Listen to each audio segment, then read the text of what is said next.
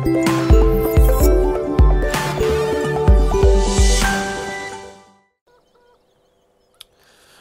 alle sammen, og velkommen tilbake til en ny episode her på The Coast of Norway. Da er det mandag natt. Eh, vanlig, vanlig mandag, får vi kalle dette. Eh, nå er det vel gjort for ferie for alle og enhver. Eh, med på det med skole og ja, ja. Det er vel noen som har hatt noe arbeidsferie da, til dere som er arbeidere, men av skoleungdom så er det vel uh, til at med den, uh, ja, hva skal en si, strie hverdag. Det er vel det som er det mest likende å si til akkurat det det er, da. Uh, her på Coast of Norway, ja. Uh, her har vi ikke fått uh, komme så veldig godt i gang ennå. Det mangler noe veldig vesentlig her. det veldig vesentlige vi mangler, er kyr. Uh, så det vi skal gjøre i dag, vi skal legge siste hånd på verket for å kunne få velkomne til kyrne våre. Så det som vi skal ordne i dag uh, Vi skal da ta og ordne helm. vi har et helmjorde, en hvetejorde.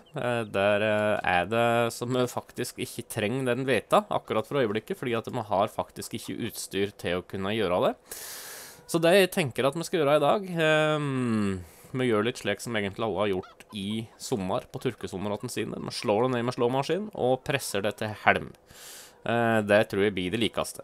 Så til dagens gjøreformål så fant jeg ut det at vi har forsynet med en gammel Massey Ferguson her. Massey Ferguson 35 er dette der, der, men han heter IMT 533.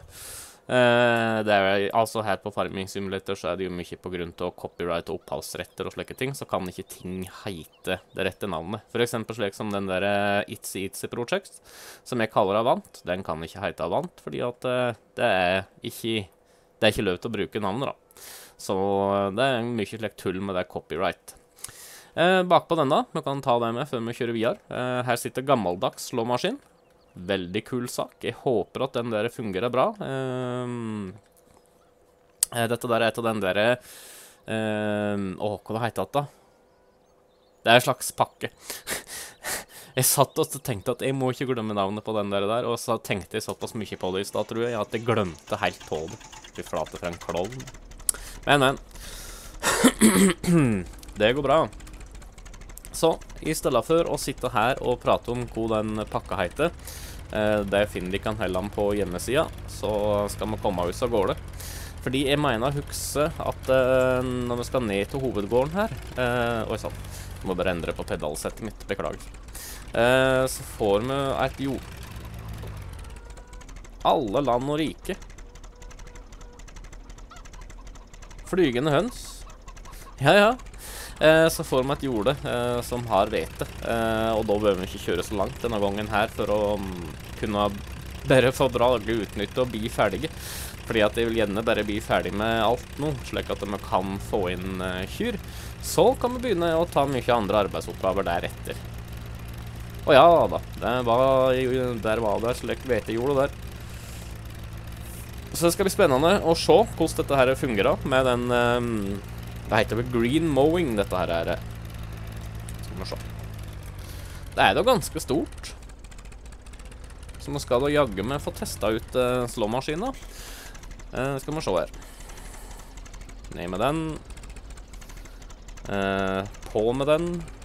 Kult. Sjekk her, da. Her er det alle lelige komponenter. Uh, til og med knivvatten ler seg på den der. der, der. Har du sett? Det der er kult. Det der er kjempekult. Nå må se her. Ja da, dette her fungerer, det. Det blir nok ikke mye på, men uh, det gjør ingenting. Skal vi se her. Det er da slik i hvert fall at vi får, uh, får noe helm. Dette her syns jeg var forrykende kult, altså. Eh, med den eh, slåmaskina og traktoren og hele det der. Det der var rett og slett gjennomført kult. Eh, jeg merker det at denne traktoren kunne ha godt hatt litt mer effekt å gå på, men det går bra. Nå driver vi og slår sammen på det med helm og gras. Så jeg må passe litt på. Eh, nå fikk vi mye til gode tilbakemeldinger uh, på det med lørdagen og søndagen, altså i går og over i går, fordi uh, nå er jo Jeg må gå over i Cabview, eller Cabview og Cabview, fru Blom. Uh, nå er jo Mods-listuten oppdatert for alle som har gått og venta på at de skulle bli ferdige, fordi det har vært um, Det har gått litt fort i sommer. Uh, det har ikke vært så lett å få fulgt med og faktisk fått gjort alt når jeg har vært aleine om ting. Så, mm, men nå er det iallfall i gang, eh, og ikke minst så fikk vi veldig mye gode tilbakemeldinger på gjesteopptreden, holdt jeg på å si, eh, på at Nils faktisk var med på gårsdagens episode av Søndagsmods.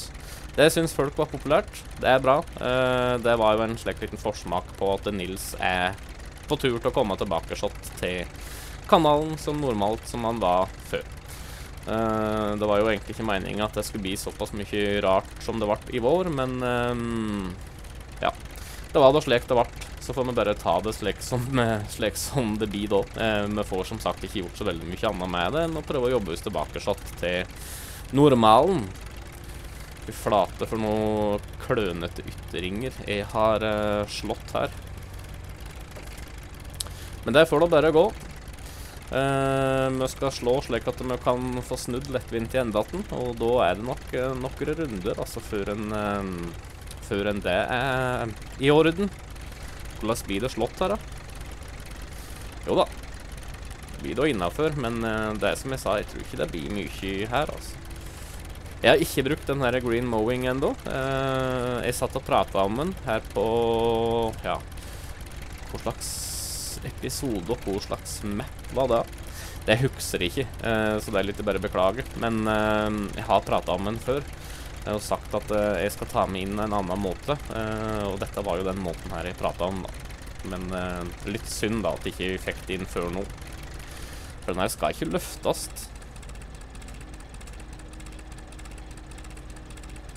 For da vil den vel ikke slå. Nei. Det er dette der, Han gikk så rart. Han gikk og liksom ble drage, og så går han og hoppa litt. Hm. Men tøff måte å øh, ordne seg helm på. Hadde man hatt mye store nok jolo, så hadde det jo bare vært å take og fyre opp øh, Fiaten en et eller annet med den andre slåmaskinen og bare gønna på. Vi har jo et par jolo som er relativt ganske store, eh, som vi kan prøves litt fram på eh, etter vi har prøvd litt her. Da. Dette er jo slik prøv- og feil-prosjekt. Men jeg har sett mange andre youtubere som har gjort dette der, da. Eh, ifølge koda utenlandske driver med. Eh, jeg har et par der som jeg følger. Fordi eh, da går det an å gjøre litt som de gjør, for da gjør den i hvert fall ikke noe av det andre norske youtubere prøver å se på, da. Jeg tror dette her blir siste ytringen. Eh, så skal vi begynne å slå att og fram. Så fram til vi skal begynne å kjøre andre veien, så skal jeg ta resten offscreen, så slås vi igjen om ett sekund. Sånn.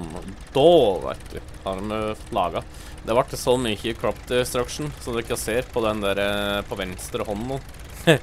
det ble omtrent ingenting å hente der, da. Jeg så det med at den der slåmaskinen, hun ligger og sklir eh, på bakken.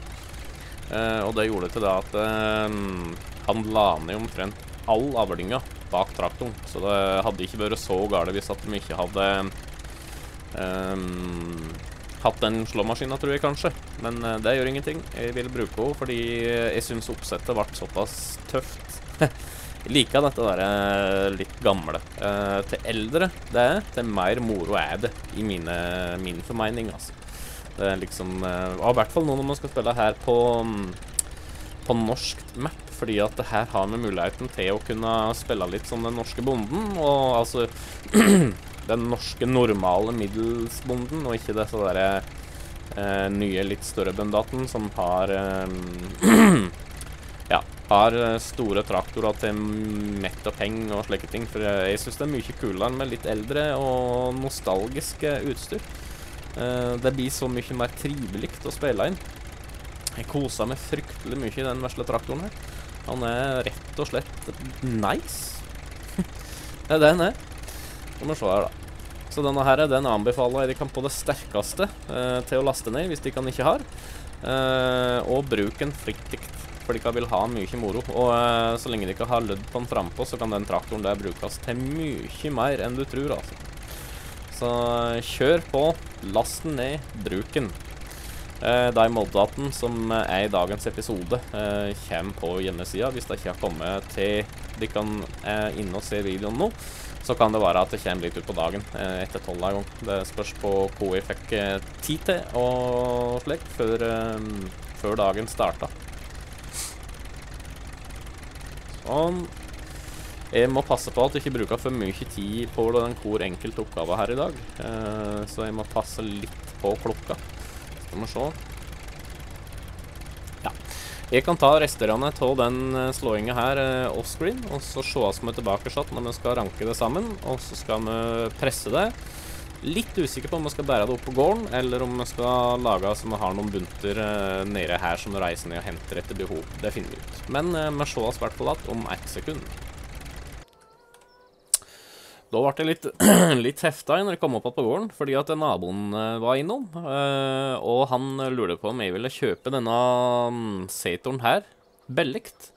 Fordi han eh, hadde helt slutta med alt han dreiv med, og trengte ikke ha traktoren stående og bli ødelagt.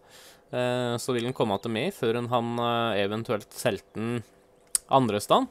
Så han lurte på om dette var noe jeg ville kjøpe. da. Jeg vet ikke om jeg har gjort noe dumt, men eh, jeg sa da ja. For som en ser, så er den velholdt og fin inni, og mm, ja. En slik middelsmodig traktor som vi kan bruke til litt slik lettvint eh, slenging, eh, egentlig. Så vi får se hvordan han eh, blir eh, å bruke. Bare vi får eh, gjort litt mer, så kan vi prøve å bruke den setoren der med i dag. Så har vi egentlig bare kjørt på traktorer av eldre garde. For da har vi starta med massin her, eh, 35. Så skal vi over i den andre massin vår. Det er den vi skal ha med oss nå. Eh, så vidt jeg husker, så tror jeg jeg har den oppe her. Ja da, der står den. Ops. Uh, Så den vi skal få være med på ballet i dag, fordi at det er den skal få lov til å gjøre, uh, det er å være med og um, kodde sammen, slik at vi kan få pressa det. Så kan vi prøve å se om uh, setoren i hvert fall er sterk nok til uh, å kunne um, presse. Det er ikke sikkert, men uh, jeg håper da at den er det. Så får vi bare ta det derifra. Nei, hvor i alle land? Ah, den var dum. Den New Hollanden står rett under den uh, massen. Hva skjer da? Jeg tror jeg må stå slik for å komme inn inn. Det måtte jeg. Det der tenkte jeg faktisk ikke på. Fy flate og dum jeg. Åh. Sånn. Da skal vi komme oss av gårde og ned.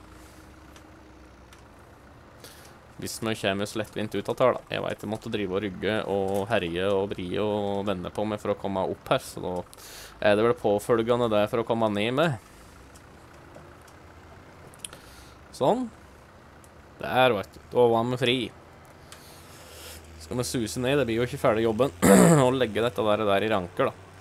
Herregud. Eh, det var jo så lite på, så kjøre en ytterring eller to, og så er det bare å eh, flise på rett opp og ned, og så er det gjort. Og presse med vil jo være kjempefort gjort. Eh, jeg ser ikke for meg at dette her blir, blir noe langstrekkelig arbeidsoppgave, for å si det slik. Skal vi se her. Nå må vi ta i betraktning først og fremst nå, da. Um, unfold built rake. Yes. Uh, og så er det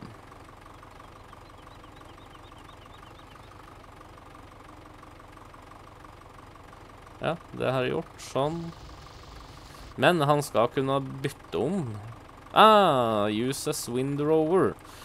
Uh, left shift og X var det, ja. Sånn! Der. Og da ser jeg det med en gang at hvis jeg hadde begynt å kjøre slik den retningen jeg hadde meint med det, uh, så hadde dette der, der faktisk vært veldig feil. Uh, skal vi se her, da. Sånn, ja. Nå skal vi bare cruise på. Jeg syns denne her fòrgiva vi har etter massivt her nå, den er kul. Alt er liksom veldig Det er lagt veldig stor vekt på fra min side å holde ting litt veldig gammeldags, men uh, det er gjort med vilje, altså. For det er så mye morosammere å um, spille på det norske mappet med eldre utstyr. Det syns jeg er tøft. Eh, og det har vi jo virkelig klart å holde med, da, for vi kjører ja, ifra 1960-åra og oppover. Da- ja, ja. Den uh, New Holland har, den derre Er det ikke 5000 enn et eller annet heter? Ja, i hvert fall eh, Den er jo av ganske nytt kaliber, da. Så vi bør jo ikke si at den er noe gammel hork. Men resten her er relativt uh, innafor eldre status, ja.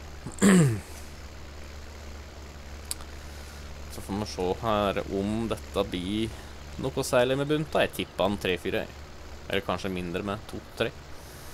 Spørs på hvor mye det blir på per eh, rank nå når vi ranker det sammen slik som vi gjør. da. For nå prøver jeg også å lage litt større hauger. Slik at det blir mindre ranker å kjøre over, men kanskje mer innhold per runde. Skal vi se. Og da Oi. Fy flate. Bomma jeg òg, vet du. For det vi skal gjøre nå, at vi skal snu når vi kommer ned, og så skal vi kjøre én runde til på ytterringen, men på innsida av den ringen. Så hvis jeg nå bare gjør det sånn cirka slik Så bare løfter jeg opp, og så kan vi da Og da er det samme om hvor vi kaster oss inn hen, så lenge vi bare begynner. Sånn. Da får vi håpe at dette her blir eh, suksessfullt, da. Kan nok hende det blir det.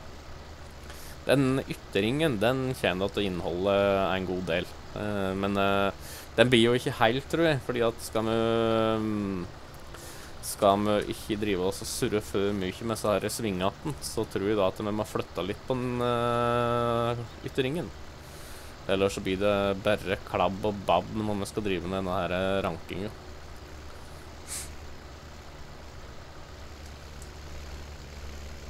Dette her må jeg si var veldig raskt og effektivt, altså. Med den eh, traktoren og den uh, riva. Fungerer som snus, altså.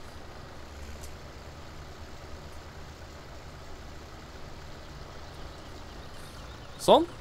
Der var ytteringen pynta opp. Da er det bare å begynne i enden bort her, tror jeg. Så Skal vi bare kjøre det sammen.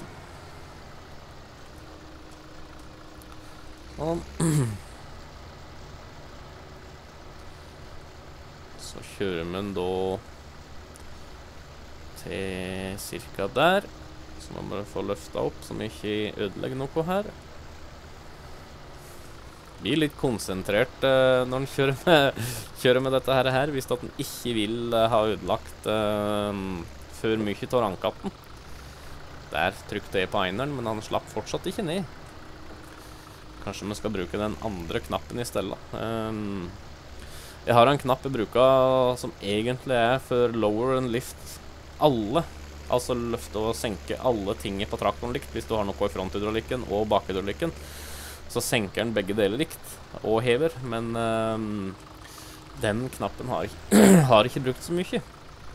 Så den er ikke like slitt som den andre tasten min. Uh, den tasten jeg har brukt til å heise og senke utstyr med helt siden jeg fikk sidepanel og dette der, og der, den begynner faktisk å ha følt på livet litt. Eh, Jeg tror den har blitt trykt på x antall hundre ganger enn eh, x antall tusen ganger, blir mer det rette å si. Um, så eh, det er vel ikke rart annet heller at han begynner å kjenne litt at den er slitt, den knappen. da. Det er jo ikke evigvarende, dette her heller. Nå bruker jo jeg veldig, veldig, veldig mange timer eh, på spilling, og da sitter jeg jo med dette ratt- og pedalsettet og sidepanel og alt konstant. Eh, og da er det Ja, det er jo bare å sjekke i en video der hvor mange ganger utstyr blir heist opp og ned og videre og videre, så skjønner han da hvor mye det blir trykka på.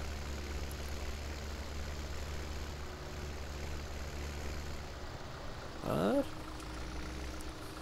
Skal vi se. Ja. Eh, jeg bare ser på tida igjen. Eh, jeg er ikke noe flink eh, til dette der, og der, og der med den tidssprengninga her, altså. Det er ikke bra.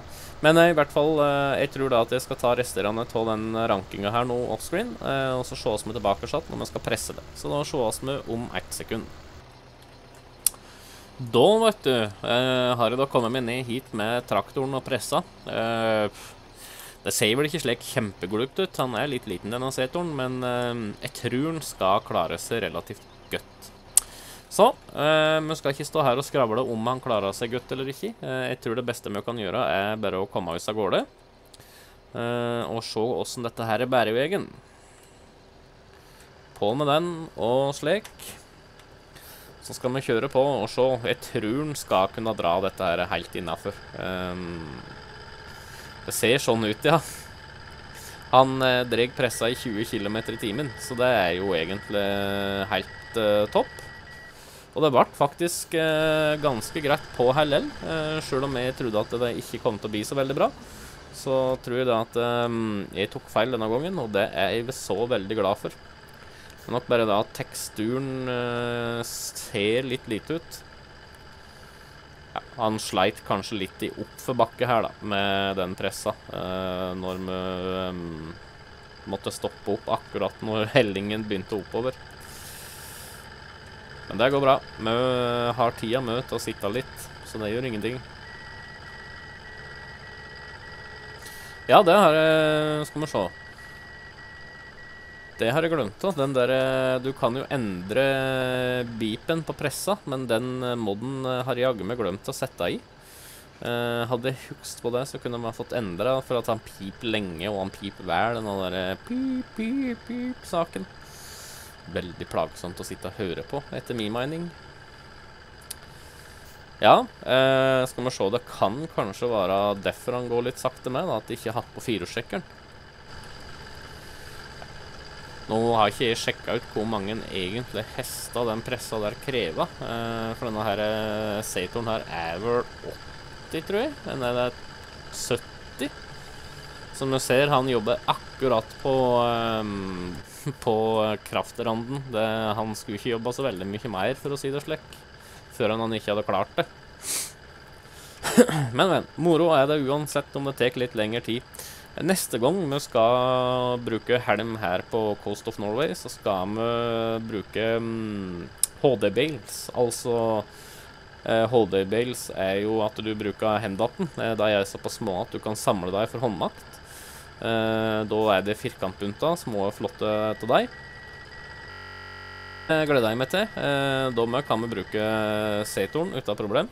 Uh, men jeg må bare finne meg en henger som er grei å stable da i HD-belsa på. Uh, vi drev jo med dette der på Hall Farm, men uh, stablinga der ble egentlig mer eller mindre bare fjas. Så um, finner jeg noe vi kan bruke som er bra stablekapasitet på, så skal vi gjøre det.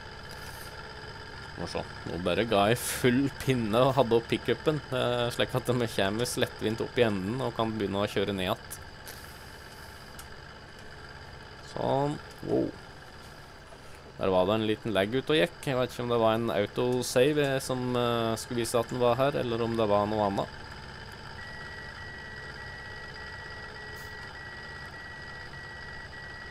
Og der. Men jeg liker denne her pressa. Uh, Galigin Galligani Et eller annet, ja. Det var litt vanskelig å uttale dette der og der. Men uh, veldig bra presse. Uh, til egentlig mesteparten. Hvis du ikke vil ha basegame-utstyr, og du vil ha litt slik som jeg driver med nå, litt eldre og litt tøffere, så er dette der, der kjempeknall å gå for. Jeg råder dere på det meste at de kan faktisk uh, gå for en slik type presse, for dette var kjempetopp. Ja, jeg måtte bare sjekke hvor mye tid vi hadde brukt her i dag, om vi hadde hatt noe, eller om det begynte å bli uh, skralt. Men uh, det var bra med tid ennå. Men nå jobber han vel for dieselen sin, den stakkars Satoren. Uh, vi skal vi gjøre her uh, på um, Coast of Norway, er det at vi skal sette litt potet. Og så skal vi ha opp litt drivhus og litt styr. vi skal ha litt forskjellig å henge fingrene i her. For noe slik som det ble på Gamesting, så der har vi relativt allerede ganske mye å henge fingrene våre i. Fordi Vi driver med skogen, og vi driver med ditt, og vi driver med datt, og vi lager uh, silobunter, vi lager helmbunter som vi skal selge. Ja. Nå glemte jeg å ha ned igjen pickupen. Det var tåpelig, det. Så nå kjørte vi hele den veien ned ut av presset. Fy flate, for en dust jeg er. Ah, der irriterte jeg meg sjøl. Mm. Eh, vi har ganske mye å henge fingrene i, som jeg sa, på eh, Gamesting. Så derfor så tenkte jeg da at da er det fint her på Coast of Norway eh, å ta litt potet og slekk. Så Setoren her skal få lov til å gå en del med det utstyret med. Og sjølsagt så skal den vesle Massin med få mer å gjøre. Jeg tror han skal få lov til å bli sjef i avdeling kunstgjødsel, i hvert fall. Og så kan det vel hende, for at i potetåkeren der må vi kjøre slik det er weeder, altså ugressfjerner. og da kan det nok hende at det kanskje er den massen som kan få lov til å kjøre, kjøre weederen, da, slik at vi får fjerna ugress. Det er mye slike der småoppgaver som man kan bruke litt eh, eldre, tøffere og artig utstyr på. Eh, jeg syns i hvert fall at det er kjempemoro. Jeg håper, håper det er like ålreit for dere å sitte og se på som det er for meg å spille inn. For eh, jeg har det latterlig moro når jeg driver på her i dag.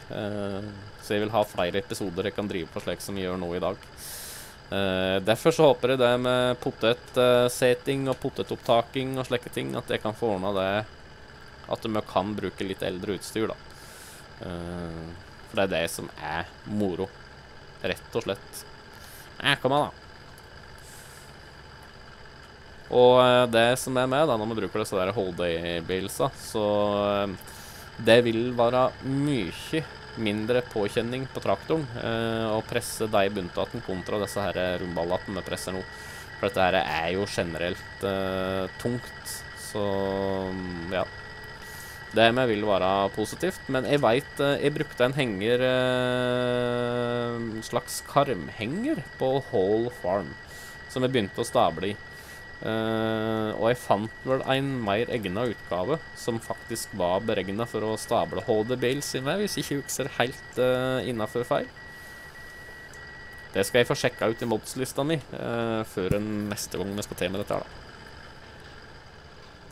Kult. Han så uh, pressa la på nett på uh, rumballen. Det har jeg neimen ikke sett før nå. Eh, jeg skal ta oss og følge med på prosenten, slik at når vi begynner å nemme oss fullt, så skal vi ta en titt bakover.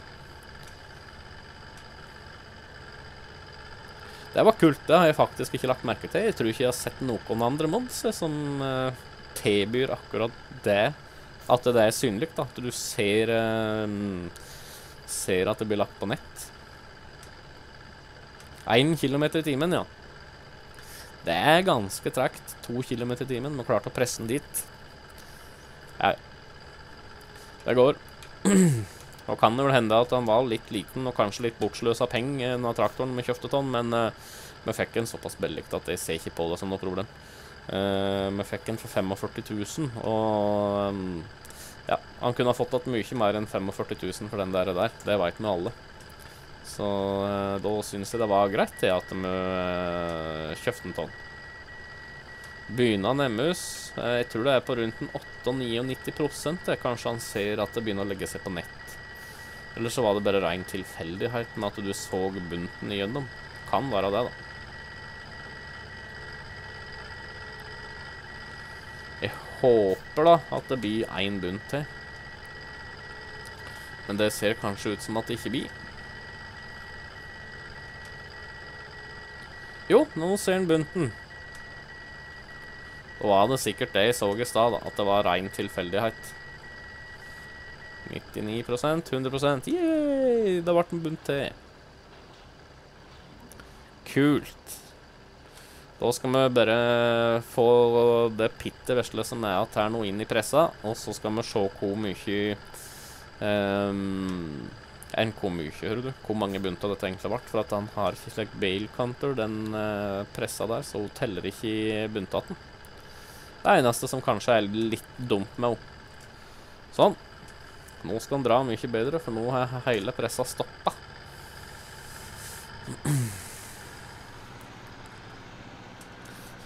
Skal vi se her, da. Én, to, tre, fire, fem, seks, sju. Stemmer det? Én, to, tre, fire, fem, seks, sju, ja. Det ble sju bunter, da. Jeg syns ikke det er noe vi skal grine av. Jeg syns det var ganske innafor. Men eh, jeg skal ta oss og kjøre opp igjen pressa. Eh, så skal vi hente litt eh, utstyr til å ha bak på setoren, slik at vi kan få kjørt disse buntene unna jordet. Så da ses vi igjen om ett sekund. Sånn. Eh, da har jeg drevet oss og håva inn disse med, fordi at jeg så på det når jeg sa at jeg skulle kjøre opp på årene. Så hadde jeg egentlig brukt over tida, eh, så det var vel egentlig ikke helt bra gjort med dette her i dag, da, at jeg brukte såpass mye tid, men eh, det går. Eh, jeg har ikke fått noen klager eh, på at tida har vandra litt på enkelte episoder, at noen episoder har blitt oi sann, lengre enn andre, og noen har blitt kortere enn andre, så det ser ut som de kan er er innafor eh, at det går litt slik eh, dann og vann. Men eh, setoren, når jeg har sittet og brukt den nå, så må jeg ærlig innrømme at eh, jeg syns den traktoren her har vært forrykende god å bruke. Liten, snedig, kjekk. Greit. Når man pressa med den, så var den litt underpowera. Men eh, nå når jeg har drevet og kita bunta med den og slike ting, så har den jo faktisk vært vist seg til å være en ganske brukende traktor. Så jeg tror ikke eh, jeg kommer til å si at jeg angra på at vi brukte de, eh, de 50 000 på den traktoren der. Eh, det var nok ærlig verdt ifra naboen vår, som vi får nok sende ei, et takkebrev en dag og si takk for flott traktor. Men eh, nå skal vi ikke dra tida mer ut eh, enn vi har gjort, eh, enn jeg har gjort. det har vel gått ganske vesentlig langt over, tror jeg. Skal vi se. Nei, ikke så galt. Vi ligger en eh, to-tre minutter over tida, så det får bare være så. Så det. Nei, men eh, da ble dette en bra episode. Nå har vi endelig fått inn, så nå kan vi få eh, henta oss kyr på neste episode. Så det blir jo knallbra. Så da får vi finne ut hvor mange vi vil ha. Legg gjerne inn eh, i kommentarfeltet hvor mange er det dere vil se at vi har her på Coast of Norway. Og hvis det er slik at dere vil se litt sau ved sida av, så kommenterer dere eh, antall kyr, og så skriver dere bare sau til slutt. Så skjønner vi hva det går ut på. Så det. Nei, men da, fram til neste gang så sier jeg takk for i dag, og så sees vi da. Ha det bra.